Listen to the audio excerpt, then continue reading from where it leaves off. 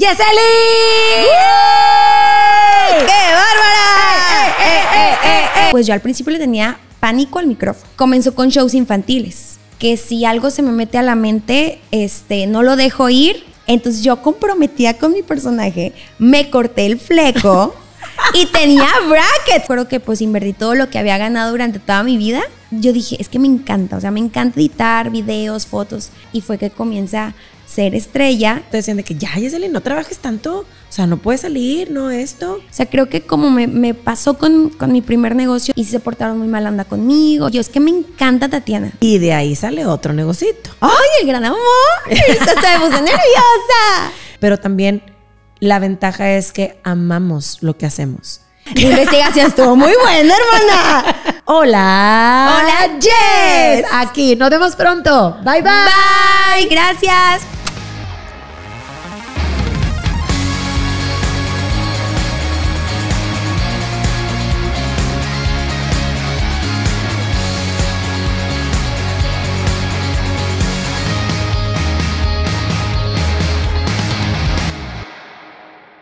Hola, hola, mi nombre es Karen Guerra y te doy la bienvenida a un episodio más donde conmigo tengo invitados que inspiran, motivan y trascienden a través de la danza. En esta ocasión, mi invitada es originaria de Monterrey, licenciada en Mercadotecnia, pero sobre todo es una mujer extrovertida, apasionada, líder, creativa y emprendedora. Pero además, ella busca trascender en el medio infantil. Ella es Yeseli. ¡Qué bárbara! Eh, Bienvenida, Yeseli. Oye, qué bonita, qué bonita bienvenida. Gracias por recibirme, gracias por el equipo, todo muy padre y pues a Muchísimas gracias a ti. Quise hacer como una introducción un poquito general, porque obviamente sé que tienes muchas facetas. Una de ellas es la infantil, otra es la emprendedora de redes sociales y filtros y mil proyectos que tienes porque tú no paras.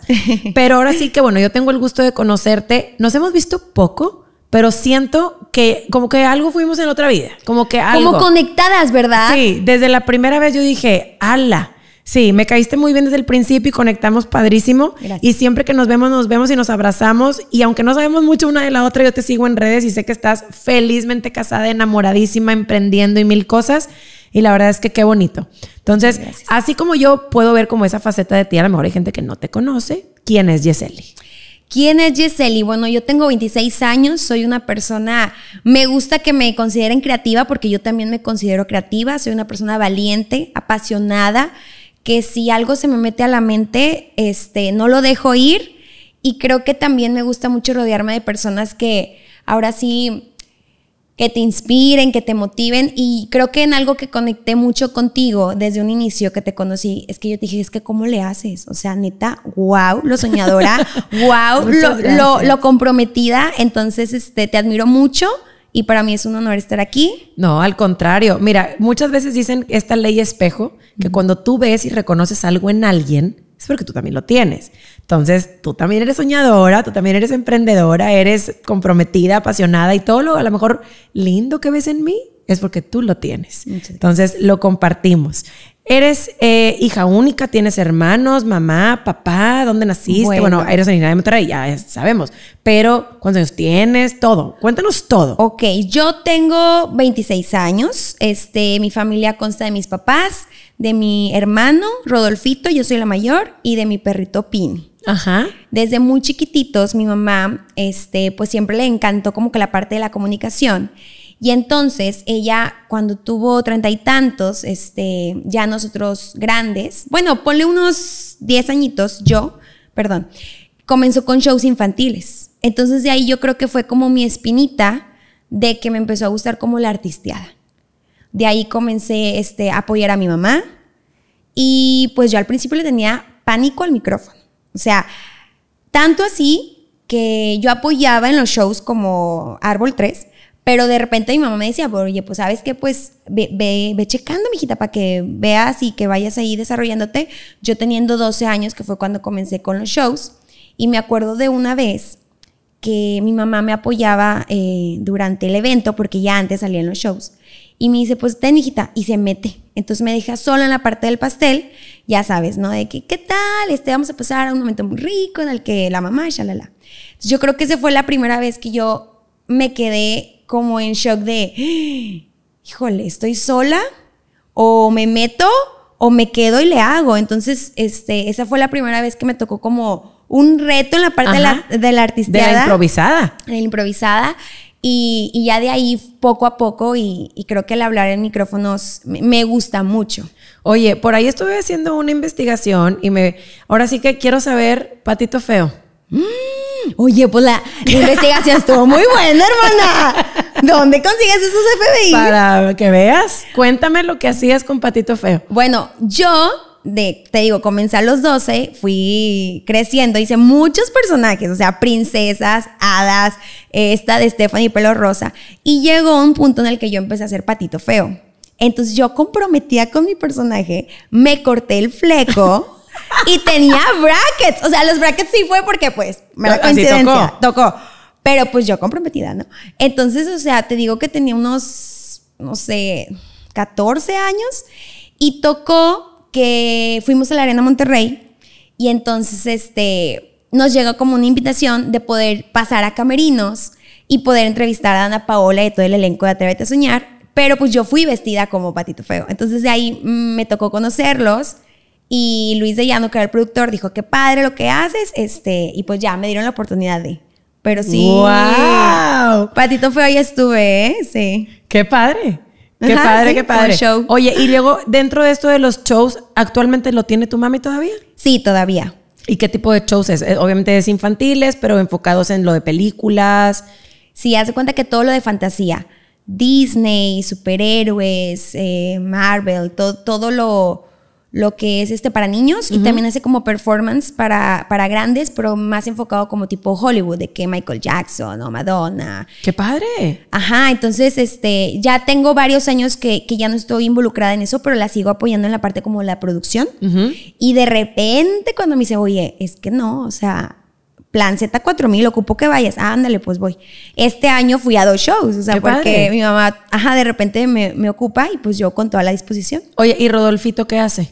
Rodolfito también los shows. Ay, la otra bien confianzas. Y Rodolfito. Sí, sí, sí, sí, totalmente. Rodolfito tiene 20, 21 ya. Ajá. Y también este, creo que por la parte que nos veía mucho mi mamá y a mí que estábamos en eso, él comenzó a decir de que es que yo también quiero ir a los shows. Okay. Y mi mamá de que es que estás muy chiquito, mijito.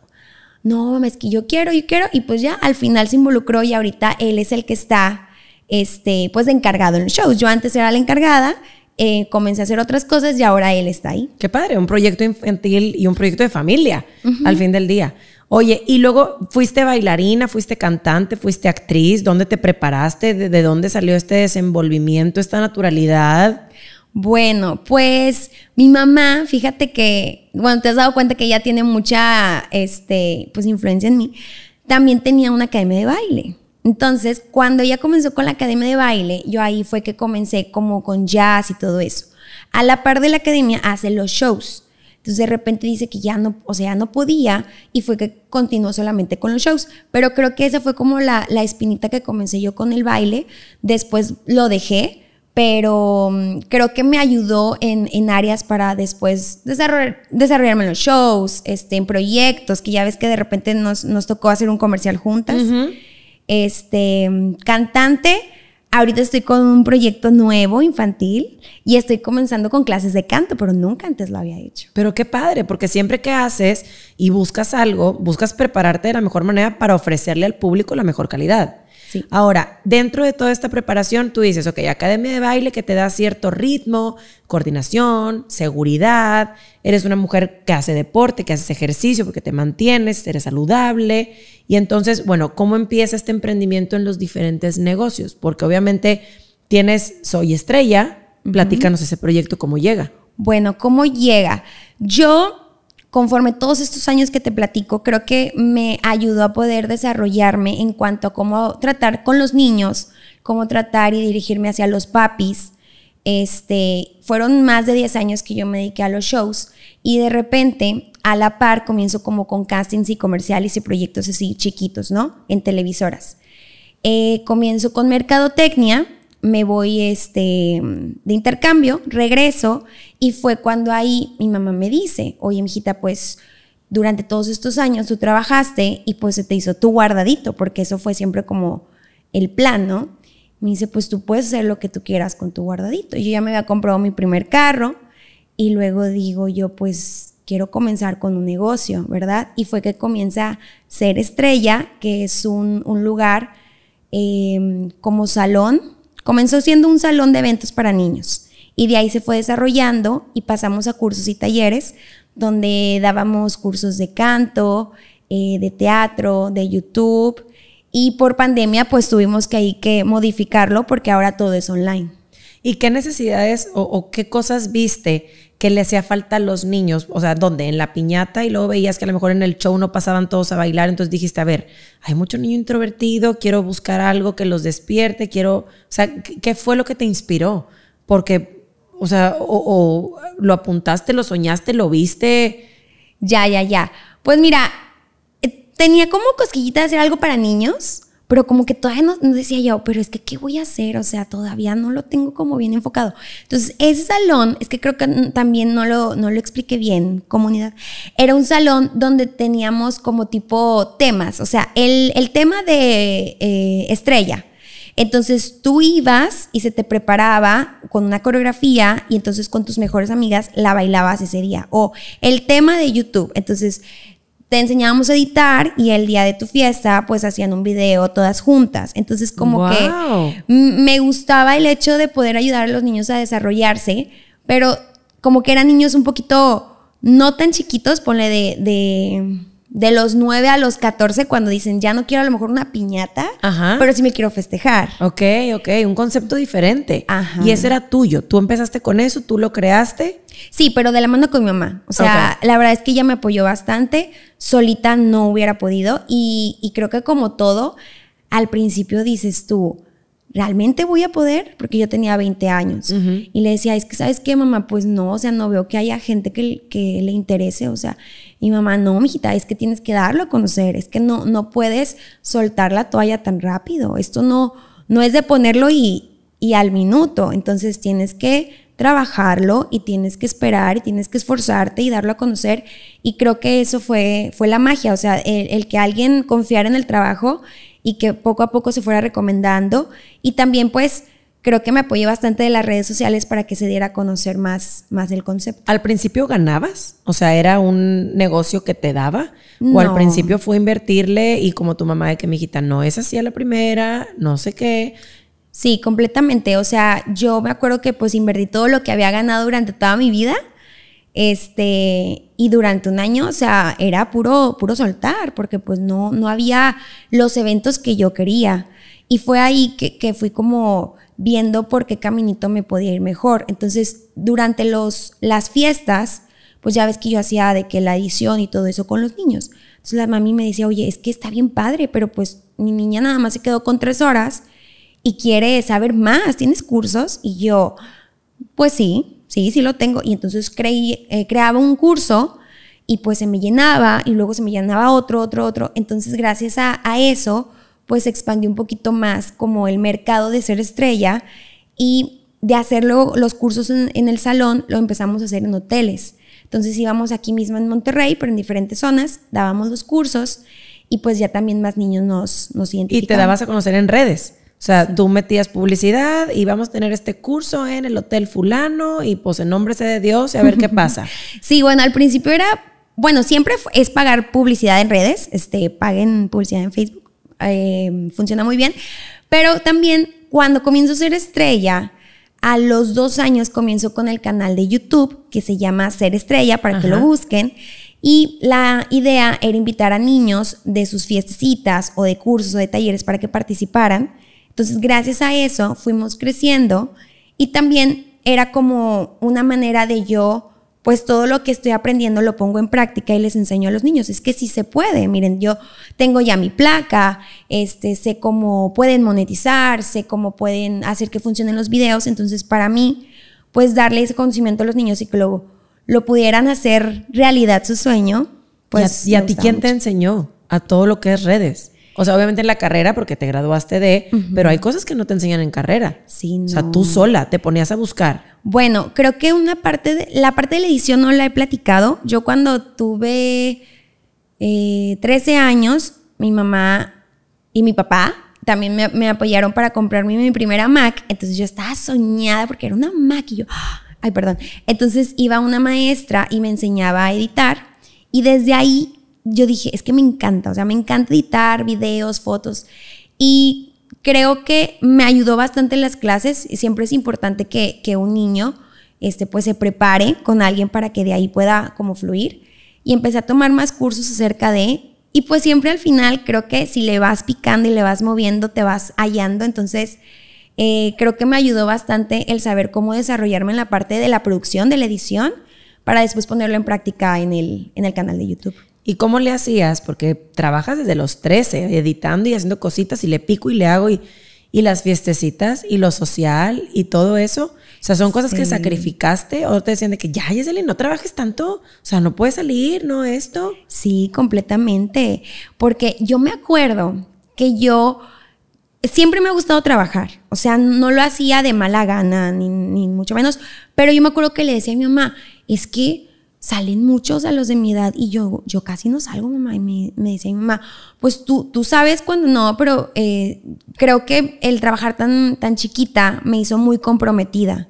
Entonces, cuando yo sabía que había cinco eventos el sábado y pues yo no podía ir al 15 años, pues llegaba tarde o pues no iba.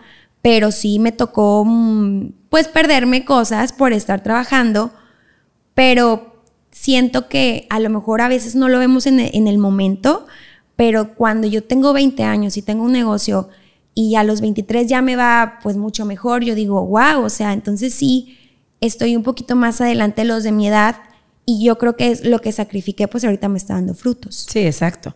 Obviamente todos tus compañeros iban como en el caminito que generalmente recorremos, uh -huh. la prepa, la carrera, pero tú empezaste desde mucho antes. Sí. Ahora, ¿qué te impulsa a seguir creando como todo este contenido y estar como aprendiendo? Una vez alguien me dijo que te dirán, tenías que ponerte una meta muy alta. Y aunque no llegaras a la meta, pues mínimo te acercabas. Eso me lo dijiste tú, no sé si te acuerdas. Ay, y yo, ay, se parece mucho a lo del punto. bueno, eso me lo dijiste tú. Este, que, que, siempre, o sea, sí lo he tenido presente y creo que también la parte de, de inspirarme y de, y de que, que, sigue, este, pues, mis papás, el hecho de que, pues, desde muy pequeñitos, pues, nosotros éramos, o sea, vivíamos en una casa muy humilde y ellos fue que, que nos, mmm, nos levantaron y, y, crecieron, o sea, en, en equipo. Exacto, entonces creo que eso, eh, el saber que, que si tú emprendes y si le echas todas las ganas, de verdad funcionan las cosas. O sea, creo que como me, me pasó con, con, mi primer negocio, digo yo, es que sí se puede, solamente es de que le eches ganas. Y eh, con el último proyecto que es el de Hola Yes, que no hemos platicado todavía, pero ahorita vamos a llegar, este, pues yo creo que lo que más me apasiona es trabajar con niños. Ya. Yeah. Entonces, creo que eso también me impulsa. El verlos, el, el, platicar con ellos, el cantar, el bailar, eso me encanta. No, y ahorita que llegamos a ese punto, imagino que va a ser espectacular que ya empiecen a conocer tus canciones, que ya empiecen como a bailar como tú, que las niñas se vayan a empezar a vestir como tú. Uh -huh. Eso es lo máximo. Ahora, dentro de todo esto que has creado, no el caminito no es color de rosa. Quiero no. pensar que has tenido cosas que no han salido, eh, que a lo mejor hay gente que te ha hecho malas jugadas con dinero, gente que a lo mejor te contrata y tú apartaste la fecha, pero luego a la mera hora no, y, o sea, ¿ha habido como muchos bajones? Sí, completamente. Y más porque creo que pasa que yo me veo todavía más chiquita, más chiquita de la edad que, que, que soy, ¿verdad? Entonces, como que siento que a veces las mamis a veces no, no confiaban en que pudiera hacer el trabajo y a lo mejor me tocaba de que no, pues es que te pago al final de la fiesta. Y yo, ay señora, lo que pasa es que viene el contrato, este, y pues ya al final se iban muy contentas y, sí, se, o sea, se pagaba y todo, nunca me tocó una situación así, pero creo que la parte de la edad siempre fue como alguna mala jugada y también, sin decir nombres, me llegó a tocar, este, me dieron la oportunidad en un programa en el que sabes que pues el trato va a ser este, se te va a apoyar a ti en, el teatro con tales canciones, con tus alumnos, Y al final en el teatro me dicen, ¿sabes qué? Pues es que no, o sea, y se portaron muy mal anda conmigo y entonces al final pues como que me querían, se querían hacer sentir víctimas ellos de que es que pues no, no eres la estrella tú y yo no, pues no, al contrario, es, es por los niños. Entonces creo que sí ha habido detallitos en los que a veces pasa que, que por confiar y por querer que todos estamos en el mismo canal, a veces no sucede, pero pues tienes que aprender. Pero es lo que te iba a decir, a fin del día es aprendizaje. Sí. O sea, a veces se gana y a veces se aprende. Sí. Porque ya la frase es, a veces se gana, a veces se pierde. Yo creo que aprendes. Sí. A veces experiencias o a cómo no hacer las cosas o a cómo no confiar en este caso en la gente. Ahora, dentro de todo este proyecto la música siempre estuvo como muy pegada. Eh, ¿Te influenciaba algún artista?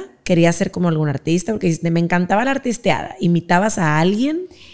Yo creo que inconscientemente sí, como que siempre decía yo, es que me encanta Tatiana. O sea, como que mi top y me gustaría conocerla y yo creo que manifesté o algo porque al final la pude conocer, la pude entrevistar, este, y me llevo muy bien con ella y ella sabe que yo la admiro bastante, pero yo creo que sí, o sea, yo creo que, que, Tatiana ha sido como una inspiración para mí, este, y sí, o sea, ¿qué más de cantante? Creo que la parte de la cantante como que nunca la tuve así como muy fuerte en mi cabeza, pero como que la parte de los escenarios sí.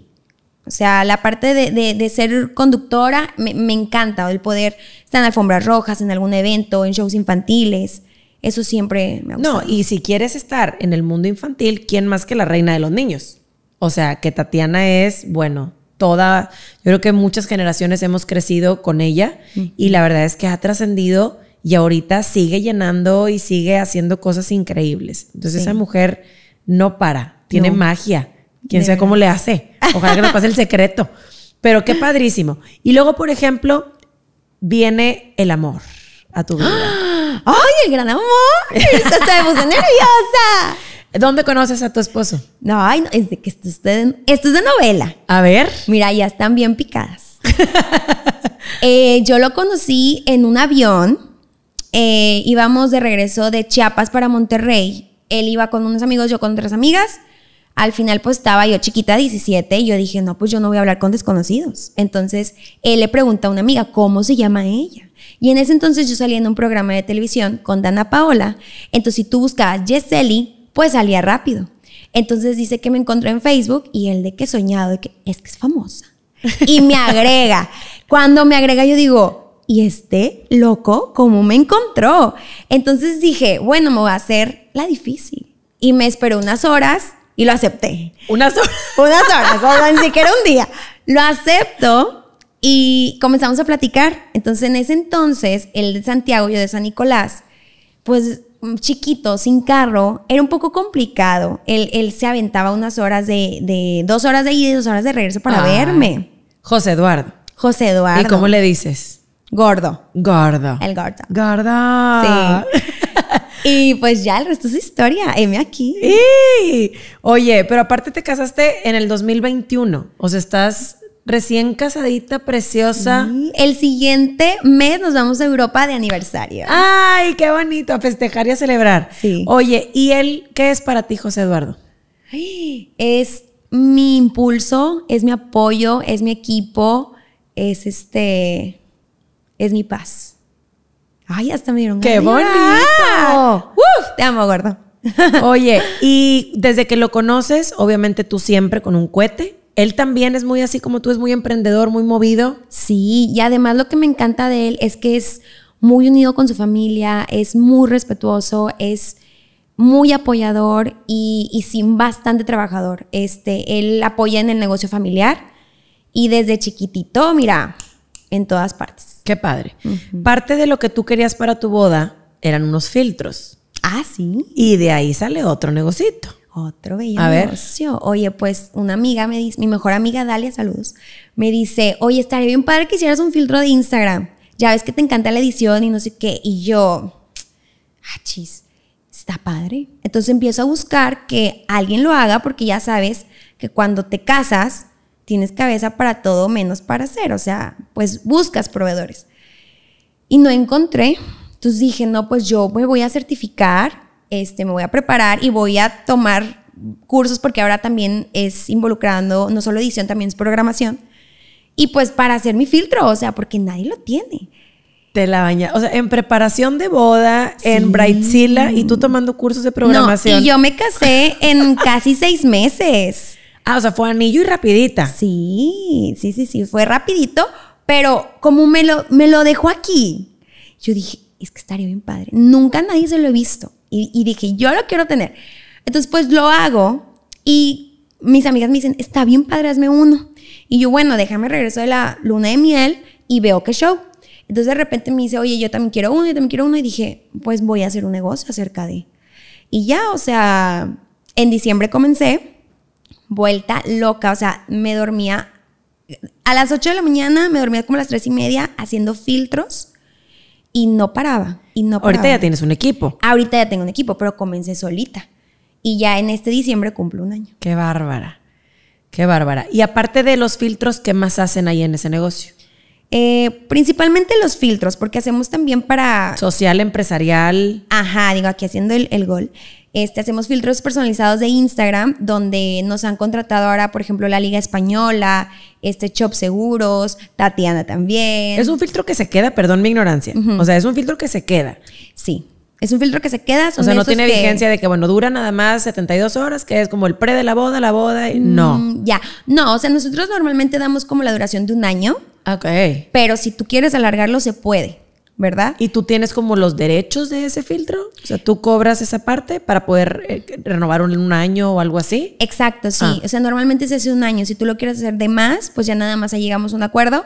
Pero pues lo principalmente es, es para una boda. Entonces, para un evento, sí. Sí, para un evento. Entonces lo padre es que nosotros lo hacemos como meses antes de tu boda. Entonces puedes estar grabando de que hay preparativos y vas como haciendo esa expectativa para que tus invitados el día de tu boda lo utilicen. Y también hay una manera en la que mm, arroba j.mexico, pero ya lo hemos dicho, este, puede hacer... ¡Lavo! Me disculpa el gol. Eh, también puedes ver de que quién lo utiliza. Entonces también está padre porque ves como el que el reencuentro de tu boda o de tu despedida, cumpleaños, lo que sea, pues lo ¿Tienes paquetes? Sí. O sea, por ejemplo, eh, yo me voy a casar y quiero para mi despedida, para la despedida del novio, para no sé cuánto y que sea, o sea ¿Algo así? Sí, o sea, se ¿Son diferentes o es uno mismo que puedes usar en todo? No, haz de cuenta que sí son diferentes. Ya. Pero haz de cuenta que lo padre es que si en un mismo filtro tú quieres que primero diga de que eh, wedding nosotros y luego le das tab, tocas y aquí aparece un texto en movimiento y dice que vivan los novios. Y luego tocas y caen de que caritas de los novios con velos y hasta el perrito cae. Entonces realmente como que, eh, pues sí, las, las ideas llegan y pues a las novias les encanta. Claro. Y aparte tú estás en una edad padrísima porque pues 26, te agarras a las novias, amigas, futuras casaderas, las amigas de las amigas. Entonces pues obviamente se corrió la voz y gracias a Dios estás emprendiendo a muy buena cantidad porque tienes muchísimos seguidores y sé de muy buena fuente que tienes hasta lista de espera. O sea, gracias a Dios. Sí. Y sí, todo muy padre. Este, apenas vamos a cumplir un año. Este, somos tres en el equipo pero pues feliz de poder también ayudar a, las, pues a, las que llegan acá, porque ahora que me moví a Santiago, ahora vivo en Santiago, este, me dicen las que trabajan conmigo, de que es que no había este negocio acá, o sea, no había trabajo de esto acá, acá no, es difícil que contraten a las mercadólogas. Entonces, pues gracias a Dios también va creciendo el equipo y pues también, pues puedo contratar a más personas de Santiago y Está muy padre, la verdad. fuente de ingreso también. Exacto. Qué padre. Y luego, por ejemplo, aparte de todo esto que haces, viene ahora sí el proyecto de Hola Jess. Hola Jess. Así Ajá, aparte se pega y todo. Oye, ¿y cómo llega? O sea, se te ocurrió, obviamente te inspiras en muchísimas cosas, dices, me gusta cantar, me gusta actuar, me gusta ser personaje, me gusta, ¿por qué no? Sí, mira, cuando pasa que pandemia, sucede que pues yo paro completamente el salón y nos vamos todo a online. Entonces empezamos a hacer estos proyectos muy padres con los niños donde les enseñamos a utilizar su pantalla verde desde la casa. La mami, ayúdele con la producción porque pues ahora usted lo tiene que grabar y al final juntábamos los videos y gracias a la magia de la edición pues parecía que estaban todos en el mismo lugar. Pero sucede que después de que son ya tres años de pandemia, eh, digo yo, es que yo quiero ese contacto con los niños, quiero como esa cosquillita que yo sentía cuando grababa con los niños. Entonces, digo yo, voy a Expo Tu Piñata, apoyar a mi mamá, y veo que hay muchos eh, youtubers infantiles que están pegando. Y yo digo, wow, o sea, entonces quiere decir que YouTube puedo hacerlo, pero también como para un proyecto personal, ¿verdad? No solamente para el local. Entonces fue que comienzo a prepararme y a ver qué es lo que me gustaría que en un futuro, que tenga mis huercos, pues que, que vean algo en lo que yo estaría orgullosa y que pudiera compartírselos. Entonces ahorita estamos haciendo canciones de el abecedario, los colores, los animales, realmente todo para, para pequeñitos y todo lo hago desde mi casa. Entonces, este, también mi equipo me, me ayuda a grabar y, pues entre todas lo sacamos. ¿Y quién hace las canciones? Tengo a un chico que me apoya en la parte de, de, de, la letra. De música. Y tengo a alguien más que me apoya en la parte de la música y ya yo me encargo todo lo visual. Ya. Y por ejemplo, los colores que escogiste para Jess. Mm, creo que fui más, o sea, no vas a creer, pero no encontraba peluca y luego dije yo, la peluca que encuentro, o sea, eso va a ser... Ah. No, pero sí quería como un celeste, un morado, porque creo que me iba bien como en lo infantil. Y ya encontré una peluca que tenía morado y celeste y dije yo, pues le voy a meter el rosa porque a mí me gusta el rosa.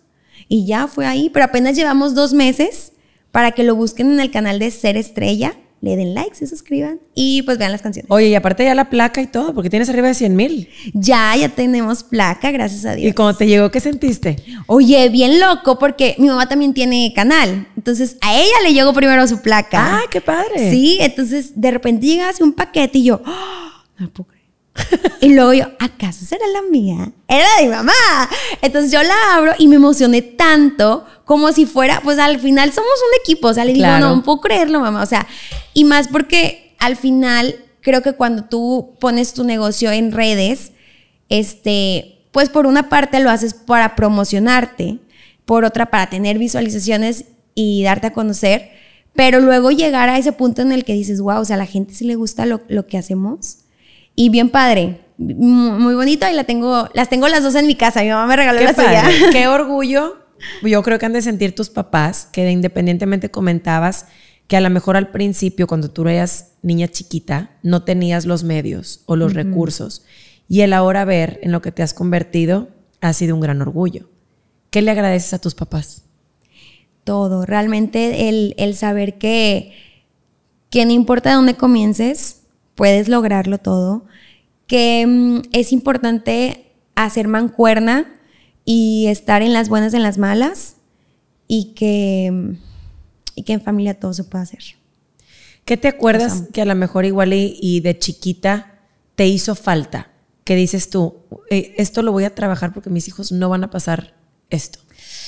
Híjole, yo creo que sí agradezco mucho que mi mamá me haya enseñado a trabajar, pero creo que mi mamá sí me llegó a faltar en ciertos puntos y a veces le reprochaba de que es que por qué trabajas. Pero pues no entendía que a lo mejor en la casa hacía falta que los dos trabajaran para que nos pudieran sacar adelante. Entonces, una vez que yo crezco, yo digo, es que ella necesitaba salir a trabajar. O sea, entonces, mm, creo que me faltó, pero entiendo ahora que crezco. O sea, realmente en la parte de, del amor, de la unión, de, del poder apoyarnos, creo que, que todo, todo bien. Pero mira, independientemente, a lo mejor no estuvo físicamente lo que tú hubieras querido, pero ven lo que te has convertido. Y ha sido por la gran inspiración desde el trabajo y de todo lo que ha sido tu mamá para ti. Sí. O sea, ha sido un modelo a seguir y ella yo creo que está mucho, mucho más orgullosa de lo que te has convertido. Tú y tu hermano Rodolfito. Rodolfito, porque aunque tenga 21, Rodolfito. Sí. Oye, y por ejemplo, ¿con qué sueñas? Con tener a mi familia. Sí, creo que mm, Eduardo y yo eh, hemos pasado por tantas etapas porque nos conocimos desde los 17 años. Él también tiene tu edad. Él tiene 27, tantito más que yo. Eh, pero mm, me he dado cuenta que es una persona que, que quiero tener a mi lado para siempre y que el hecho de que hablemos de que lo que sigue como que me da mucha ilusión, sueño con eso y sueño con seguir creciendo mis proyectos. O sea, de verdad yo no me veo sin, sin trabajar y sin luchar por, por lo que me apasiona. ¿Quieres ser mamá? Sí. ¿Pronto? No, no tan pronto. Así que papás y suegros no se emocionen tanto. No, pero es que tienes muchos bebés, proyectos, Sí. porque vas a hacer muchísimas cosas. Algo que nos puedas adelantar, que digas, estoy trabajando en esto. Estoy trabajando. Híjole, pues es que creo que ya, ya lo he platicado todo. Eh, estoy trabajando en crecer Hola Yes. De verdad me visualizo en poder llegar a muchos niños, en poder llegar con un mensaje muy bonito y a lo mejor, ¿por qué no hacer algún concierto después? Digo, apenas ten- tenemos dos mesecitos, pero, pero de verdad tengo mucha fe en el proyecto. Yo quiero que, yo quiero no, yo creo que eres una persona que independientemente crees en los demás, pero principalmente crees en ti. Sabes que dentro de ti no hay límites y que si alguna vez coincidimos y tú escuchaste el pon el punto y sigue la raya, es por algo y a lo mejor empatizaste con. Es la misma frase de enfócate y sigue tu camino, sueña y lo lograrás. O sea, Sí. es, es eso, pero es más como el ver ese enfoque. Yo creo que tu objetivo más grande es estar realizada como mujer, como profesionista, ser feliz en el proceso, disfrutar todo lo que te presente la vida y sobre todo seguir con ese carácter tan increíble que te caracteriza. Tengo muchísimos amigos que te quieren mucho, que te admiran mucho, que me mandaron mensajitos para platicarme de cómo eras tú y todos coinciden con que tienes una personalidad única. Eres el alma de la fiesta. Eres una persona bien extrovertida. Me contaron hasta anécdotas que no voy a decir por respeto a tu ¡Ay, mamá Dios porque mío! porque a lo mejor se te cuelga. Este, a lo lo vemos off the record nosotros. Pero la verdad es que qué bonita tu historia, qué bonita tu vida. Obviamente, como dijimos, ha sido algo que has trabajado, no se te ha dado fácil, que a lo mejor hay circunstancias que a lo mejor no se dieron como hubieras querido, sin embargo, tenían que ser y es lo que han forjado todo lo que eres ahora y la gran mujer que eres ahora. Yo, por ejemplo, te digo, aquí en el canal es la frase que nos representa, el pon el punto y sigue la raya. Me queda muy claro que puede ser un objetivo a corto, a medio o a largo, pero como dices tú, escalón por escalón. Y puede ser que al llevar al siguiente nivel te des cuenta que no era por aquí, sino era por acá, pero que tu enfoque general no cambie, que estés bien atenta a todas las oportunidades que se te pueden presentar, porque ahí es donde la vida se pone interesante. Disfrutar el proceso. Yo sé que a lo mejor dices tú, quiero, pero tienes que estar con la antenita bien parada, porque a lo mejor tu enfoque puede cambiar, pero ahí es donde está la magia de la vida. ¿Tienes wow. alguna frase tú que nos quieras compartir? Creo que mi frase es cree en ti. Creo que eh, muchas veces vamos como en rutina con la vida y de repente mm, te cuestionas, ¿estoy haciendo lo correcto? ¿O si estoy haciendo lo que debería? Entonces piensa en lo que, en lo que quieres, en lo que te visualizas, cree en ti y sí se puede. Nomás échale ganas. Exacto. Algo que quieras, con lo que quieras terminar que yo no te haya preguntado.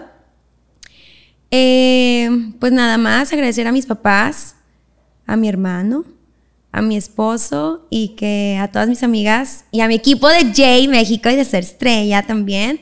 Y por supuesto a ti por recibirme. ¡Wow! Cuando, yo, cuando llegué, llegó la invitación y dije, ¿acaso es un error? O sea, me estoy invitando a mí. Muchísimas gracias. No, Sabes hombre, que te gracias a ti. admiro muchísimo y nunca creí estar en este sillón. No, igualmente, igualmente te admiro muchísimo y sé que eres un ejemplo de emprendimiento, sobre todo para las chavitas. O sea, independientemente, sabemos que muchas veces eh, cuando empezamos jóvenes y empezamos a ver, como dices tú, los frutos a tus 23, que dices tú, y yo ganaba mi dinerito mientras todo el mundo andaba en el antro, en el crudo, en el... Y luego de que, ay, ¿por qué no sale? Ay, ¿por qué esto? Pues porque realmente si quieres eso, tienes que trabajarlo y tienes que esforzarte. Entonces, yo también empecé a trabajar muy chiquita, eh, sacrifiqué mucho, Sigo sacrificando mucho porque obviamente esto a lo que nos dedicamos, que es todo lo social y todos los eventos y demás, implica no despedidas, no bodas, no baby showers, no esto, pero también la ventaja es que amamos lo que hacemos y vivimos en esta filosofía que a mí me encanta, que es una filosofía japonesa, que es el Ikigai. ¿Sabes lo que es el Ikigai? Mm, mm. Es vivir en base a lo que es tu pasión. vivir en base a lo que le da el valor a tu vida, por lo que te levantas cada mañana. ¿Tú por qué te levantas cada mañana? Porque quieres crear, porque quieres más, porque quieres ayudar, porque quieres ayudar a los niños. Y tu Ikigai se compone de cuatro cosas. Lo que te apasiona, en lo que eres buena, en lo que te pueden pagar por eso y donde puedes ayudar a la gente. Si tú vives alrededor y cumpliendo esas cuatro cosas, vives en tu Ikigai. Y es la filosofía de la gente más longeva. Entonces, qué, padre, no lo conocía. Sí, te voy a mandar ahí unos linksillos para que veas. Yo esta filosofía la conocí en, el, en pandemia también, que obviamente yo antes de pandemia, Miss Karen, la directora, la bailarina, la coreógrafa, ajá, viene pandemia y a mi casa. ¿Y quién es Karen?